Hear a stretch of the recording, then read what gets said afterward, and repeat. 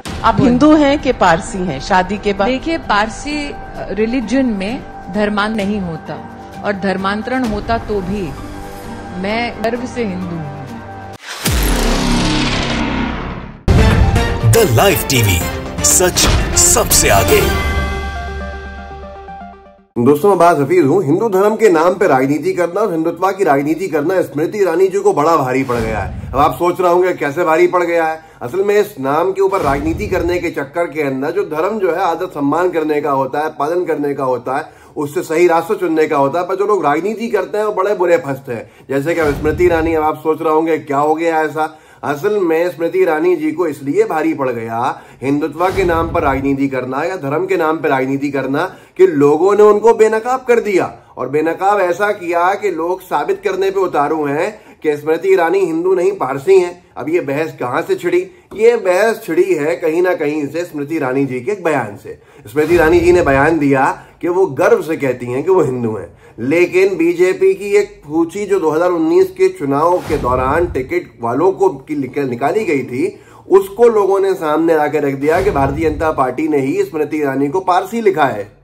स्मृति ईरानी का पार्स का नाम के साथ पारसी लिखना भारतीय जनता पार्टी की तरफ़ से शायद इसकी अपेक्षा स्मृति ईरानी जी ने खुद भी नहीं की थी। पहले मैं आपको दिखाता हूँ कि विवाद कहाँ से शुरू हुआ।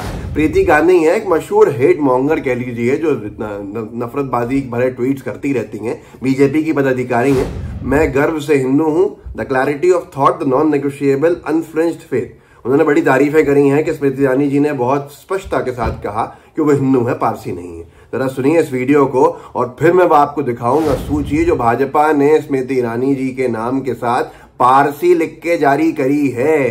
पहले आप ये वीडियो देखिए।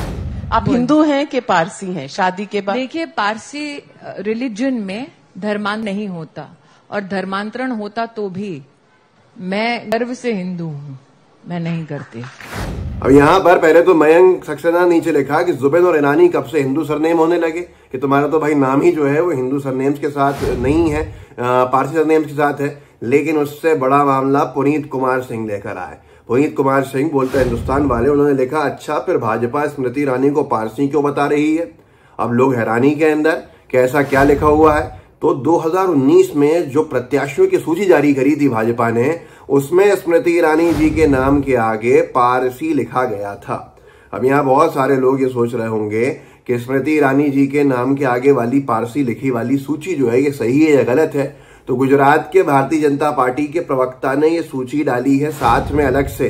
ये आप देख लीजिए और समझ लीजिए। तो ये आप स्क्रीन के ऊपर देख रहे हैं ये खुद भारतीय जनता पार्टी के एक प्रवक्ता ने, गुजरात के प्रवक्ता ने 2019 के चुनाव के दौरान ये सूची डाली थी कि इन लोगों को टिकट मिला है और अमेठी से जिनका टिकट हुआ है, लिखा हुआ है कि नंबर 29 उत्तर प्रदेश, सैतीस नंबर अमेठी, श्रीमती स्मृति ईरानी ब्रैकेट में पारसी। भाजपा को भी क्या पड़ी थी? भारतीय जनता पार्टी ने किसी का धर्म नहीं लिखा है। सिवाय स्मृति ईरानी जी के आगे पारसी लिखने के अलावा। बाकी सबके आगे जो सरनेम्स हैं वही लिखे हैं, लेकिन यहाँ लिखा है श्रीमती स्मृति ईरानी, ब्रैकेट में पारसी, जो लोग पूरी राजनीति करने के लिए गांधी परिवार को पारसी बताते रहते थे, कभी कुछ और बताते थे, आज वो खुद जो है, वो इस पूरे के पूरे जाल के अंदर उलझे हुए हैं। यही होता है कि अपने आप दुनिया के अंदर वापस आती हैं चीज़ें। कोई जवाब नहीं है इसके ऊपर, वो साफ़ तौर के ऊपर कह ही रही हैं कि मैं तो गर्व से कहती हूँ कि मैं हिंदू हूँ, लेकिन लोग ये पूछ रहे हैं तो फिर ये बीजेपी के प्रवक्ता ने क्यों साझा की थी ये सूची? और भी भाजपा के नेताओं ने, जो 2019 के लोकसभा चुनाव के टिकट वालों के नाम थे, जिसमें साफ़ तौर के ऊपर स्मृति ईरानी जी के नाम के साथ पारसी लिखा हुआ है।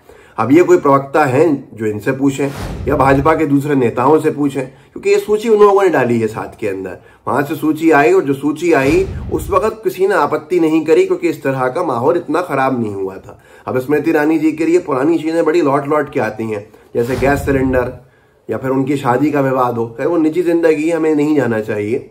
भले ही वो कुछ भी हो, वो सब आप जानते हैं, हम जानते हैं, लेकिन गैस सिलेंडर्स के ऊपर हंगामा करने वाली स्मृति ईरानी जी, आज गैस सिलेंडर्स के दाम तीन गुना हो चुके हैं, कोई हंगामा नहीं हो रहा है तो उनके पुराने वीडियो सामने आ जाते हैं। जैसे कि पुरानी सूची सामने आ गई, जिसमें लिखा हुआ है, स्मृति ईरानी जी, और उनके आगे ब्रैकेट में पारसी।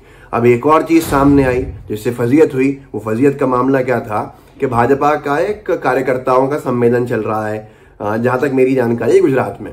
गुजरात में चल रहा था चुनाव को लेके। वहाँ पर एक कार्यकर्ता ने भारतीय जनता पार्टी की महिला कार्यकर्ता ने स्मृति ईरानी जी को राय दे डाली। जो राय पूरे देश भर के अंदर हो गई वायरल। वजह क्या थी उसकी? वजह ये थी उसकी कि उन्होंने कहा कि भैया, गैस सिलेंडर के दाम थोड़े कम कर दो। लेकिन ये कहने वाला कोई और नहीं था, बल्कि भाजपा का ही कार्यकर्ता, भाजपा के ही कार्यक्रम के अंदर बैठी एक महिला थी। कांग्रेस ने डाला ट्वीट पर बीजेपी के कार्यकर्ता भी महँगाई से त्रस्त हैं। गुजरात में एक महिला ने स्मृति ईरानी से महँगाई कम करने को कहा। महँगे गैस सिलेंडर को लेकर शिकायत की और स्मृति ईरानी मुस्कुराती रही। जब सिलेंडर 400 में मिलता था तो ये, यही ईरानी जी सड़क पर उतरकर हल्ला करती थी। आज खामोश है। जरा आप इस वीडियो को भी देख लीजिए। वैसे आपको दिखाया था इस वीडियो को, लेकिन फिर से देख लीजिए, ताकि समझ में आए कि जब किसी के खराब दिन होते हैं तो किस तरह के होते हैं। देखिए। मैं एक प्रस्ताव रख सकती हूँ मोदी सरकार को कि मेरी तीन लड़कियाँ हैं। महँगाई बहुत ज़्यादा बढ़ चुकी है। अब गैस सिलेंडर का भाव भी बहुत ज़्यादा है। सब सब परेशानी होती है। अगर तीन लड़कियाँ हैं मेरी तो मैं जॉब भी करती हूँ, क्योंकि परेशानी होती है। तो थोड़ा सा गैस सिलेंडर में थोड़ा कम हो जाए तो हम लोगों को अच्छा लगेगा। तो दोस्तों, आपने देखा ये तो एक चीज़ थी, लेकिन मेन जो विवाद है, वो आ गया है अब कि स्मृति ईरानी जी क्या है। हमें इस चीज़ से मतलब नहीं होना चाहिए, लेकिन स्मृति ईरानी जी हो, भाजपा के दूसरे नेता हो वो तमाम लोग इसी चीज़ पर राजनीति करते हैं कि तुम भैया जो हो, वो हिंदू नहीं हो, तुम मुसलमान हो, तुम पारसी हो, तुम ईसाई हो, लेकिन अब जो है गेंद भारतीय जनता पार्टी के पाले में आई और वो भी उनकी जो सबसे ज़्यादा राजनीति पिछले कुछ दिनों से कर रही थी। कभी आरती जो राहुल जी कर रहे हैं, उसका मज़ाक उड़ाते हुए उल्टी तस्वीर कर देना। और अब नविका कुमार जी के शो के अंदर उनसे कहना कि मैं गर्व से कहती हूँ कि हिंदू हूँ, धर्मांतरण नहीं करती मैं। पारसी नहीं होती। लेकिन अब निकल गया पुराना सूची 2019 के लोकसभा की, और वो भी किसने किसी और ने नहीं, खुद भारतीय जनता यल की डिग्री की तरह नहीं है कि यल की डिग्री की तरह हो जाए। ये तो खुद भारतीय जनता पार्टी ने जो सूची निकाली, उसमें लिख दिया कि अमेठी से चुनाव लड़ने वाली हैं श्रीमती स्मृति ईरानी। जबकि लोकसभा की वेबसाइट पर जाएँगे तो स्मृति जुबिन ईरानी दिखेगा। और एक और चीज़ बता दूँ आपको, विकीपीडिया में भी जाके देखिए, स्मृति ईरानी जी का पुराना नाम स्मृति मल्होत्रा था। स्मृति मल्होत्रा जी, स्मृति जुबिन ईरानी हो गई।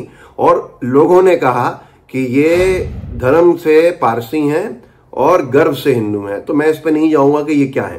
लेकिन ये तथ्य जो बता रहे हैं, बहुत सारी चीज़ें जो आपके सामने हैं। खैर, इस वीडियो को आगे बढ़ाइएगा थोड़ा सा जो लोगों तक पहुँचा सकते हैं, पहुंचाइए। ग्रुप्स होंगे व्हाट्सएप के, उनमें शेयर कीजिए, साथ में लाइव टीवी को सब्सक्राइब ज़रूर कीजिएगा और आइकन दबाइएगा। जय हिंद, जय भारत। द लाइव टीवी सच सबसे आगे।